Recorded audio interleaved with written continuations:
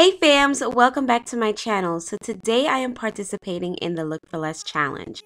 And this is my high-end piece that I found on Etsy. I absolutely fell in love with this bench. I've been looking for a bench for my master bedroom and I fell in love with this piece. I love the spindles. I just love the curvature of them and the bench itself it's a farmhouse but it's very vintage i feel. Um and it's actually a vintage ethan allen old tavern bench. Um i think it's a captain spindle armed bench but i absolutely love it. And so i went out thrifting and lo and behold this is what i found. I love this bench. It is very similar with the spindles. I mean, there are some differences, but I absolutely love it. So before I go into this bench, I want to talk about Yami. Yami is the host of this challenge, and she hosts this challenge every single month, and it is the Look for Less challenge. So, her channel is the Latina Next Door, and she does a lot of DIYs, home decor, thrifting. She also has a um, vlogging channel with her family, the Latinas Next Door, and I just love them so much. Um, they are absolutely incredible and talented. So her co-host is none other than my girl Helena from Blondie Next Door. She also does a lot of DIYs, farmhouse DIYs. You guys, if you love farmhouse, you will absolutely fall in love with her channel. And she also does some home decor as well.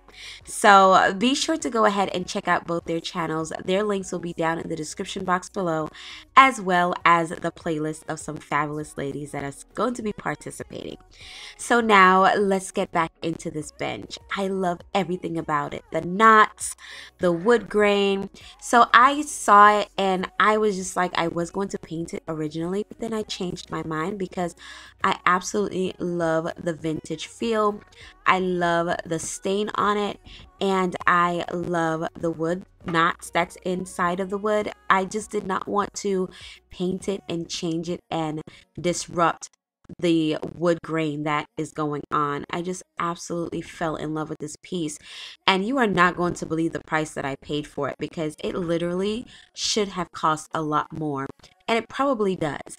But I fell in love with it. I got this piece from the Salvation Army um and it was it was actually this piece and another one but i fell in love with this because my bed is a king size bed and it actually almost fits the width of my bed. So it can fit my entire family.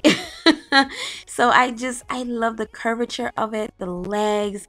It's just so dainty but at the same time it's maintaining that vintage um, feel that i love the spindle um, that is in the back of this bench and just the wood grain you guys. I can't get over it. It's it's just absolutely beautiful. I cannot get over how beautiful this piece is and i just can't get over the amount that i paid for it Okay, so let's look side by side. So my bench was $29 at the Salvation Army and the Etsy bench was $789. So tell me guys, what did you think? Do you think I got the look for less or not?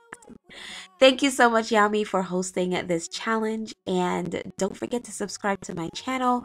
And don't forget to hit that bell twice.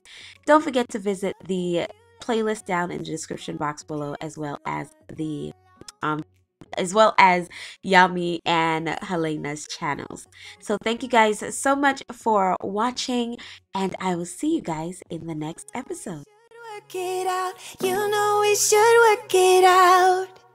Before I'm too invested,